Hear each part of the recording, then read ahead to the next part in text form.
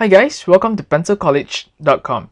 Okay, so in this video, we'll be moving on to chapter 7.3, parallel and non-parallel lines. So the lesson objectives, to apply the conditions for the gradients of parallel lines to solve problems. So what exactly are parallel lines and what's so special about parallel lines? So suppose lines L1 and L2 are parallel, then we can say that the gradients are equal. So what does it mean? It means that the gradient of L1, which is M1, is equals to the gradient of L2, which is M2. Okay, and the angle theta, which is the angle that the line forms with the x-axis. So let me just highlight it over here. This is my angle theta. Okay, the angle theta is actually the same. Okay, and uh, pro probably also want to highlight that uh, if the two lines are parallel, okay, then we can, you know, use this very simple symbol, okay, to denote that the lines are parallel. Okay, as for non-parallel lines, so what are the conditions? It will just be the exact opposite of that of parallel lines.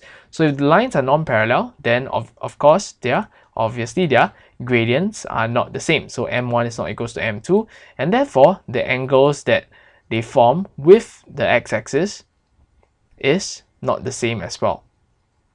Okay, so this is just probably the more theoretical part. Okay, if uh, if it's kind of confusing, don't worry, we'll be looking at some tangible examples. So in example number one, find the equation of the line which passes through the point 1, 2 and is parallel to the line y equals to 4x minus 3. So before we move any further, let us just recall that the equation of any straight line can always be written in this general form, y equals to mx plus c. Okay, so let us call the equation of this line, okay, over here, let's call it L2.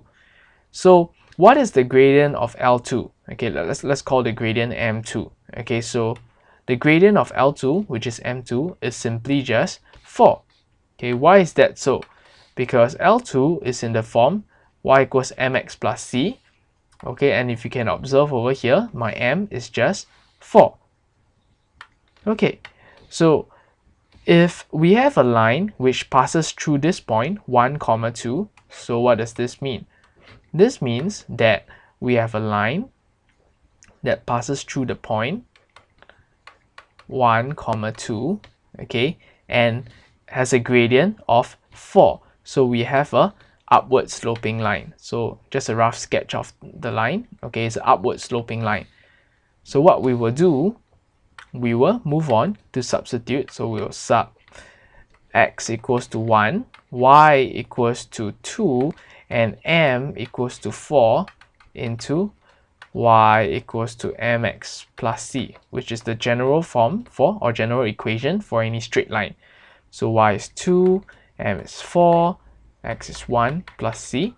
Okay, solving this, we can get c to be negative 2. Therefore, the line, the equation of the line that we're looking for is just y equals to m, which is for x plus c, and c is just negative 2. And there we have it. Okay, so let's call this line L1. Okay, so before we move on to the next example, I just want to highlight, okay, that uh, L1 and L2 are essentially parallel because their gradients, okay, which I'm highlighting now over here, are the same. Okay, so the gradients of L1 and L2 are the same. So I to say M1 equals to M2 equals to 4. Therefore, we can say that L1, or rather, therefore we know that L1 and L2 are parallel. Okay, let's move on to example number two.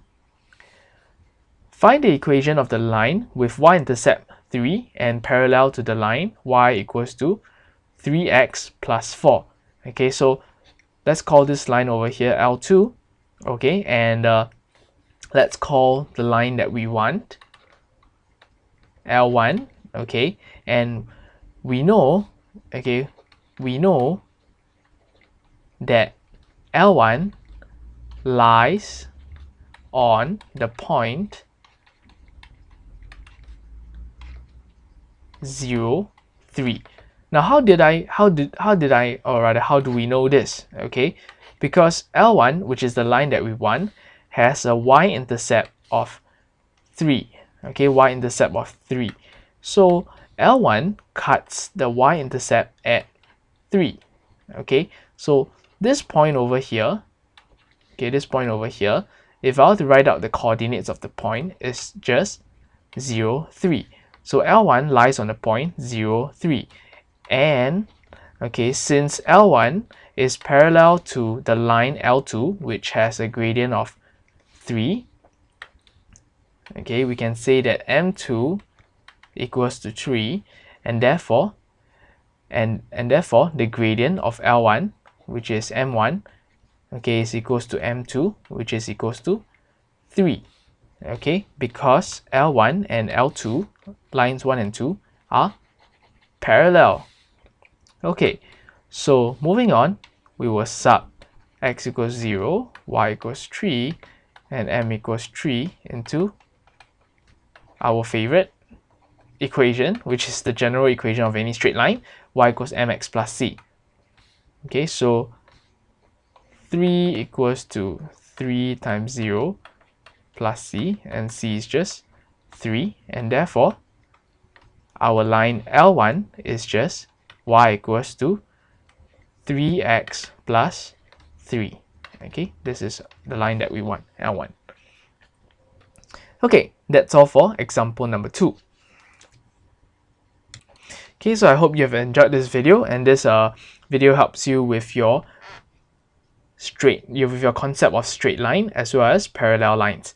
Okay, so for more videos, please log on to pencilcollege.com. I'll see you in the next video. See ya!